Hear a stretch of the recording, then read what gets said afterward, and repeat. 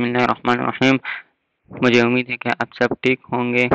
मेरे प्यारे दोस्तों, आज हम इस वीडियो में पढ़ेंगे नसीरुद्दीन।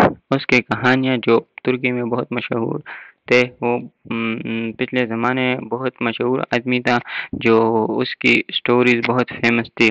आज हम उसके क्वेश्चन आंसर पढ़ेंगे कि उसने अपने ज़माने में क्या क्या किया है ये क्वेश्चन आपके नॉलेज में इजाफा भी कर सकती है और आप जब जॉब के लिए इंटरव्यू देंगे तो ये क्वेश्चन आपसे पूछे जा सकते हैं। चलो शुरू करते हैं इस वीडियो को कि आपकी नॉलेज में इजाफा करें। Question number one What are Nasiruddin stories famous for?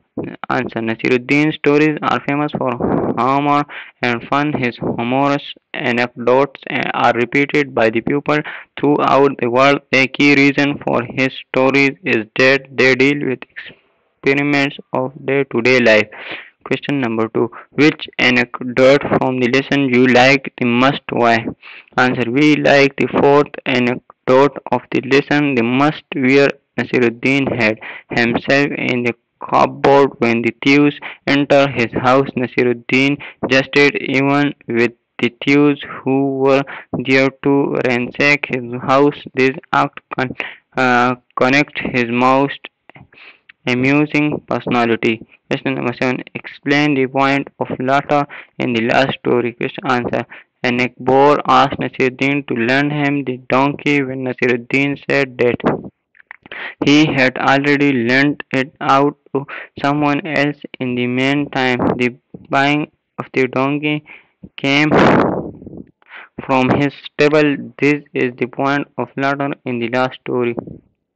Question number four. How were the thieves treated by Nasiruddin? Nasir answer. Nasiruddin treated the thieves in the strange way when the thieves entered his house. He hid himself in the cupboard. When they asked him that why had he done so, he replied that because of shame, shame is there was nothing worthy of them in his house. Question number 5. What was Nasiruddin's explanation to the gardener? Answer. Nasiruddin explained that he had been blown there by wind. He caught hold by the vegetables to stop himself from being swept along. Question number 6. Have you ever come across a famous person like Nasiruddin? Compare the uh, charter of Nasiruddin with that real life person? Answer. Yes, we have a person lives in our neckboard who is funny like Nasiruddin. You cannot stop laughing well in his company. Beside Homer, his answers are often sharp and witty just like Nasiruddin. In short, we believe that he is not less than Nasiruddin. Question number 7. Write a note on Charter of Nasiruddin using evidence from the lesson.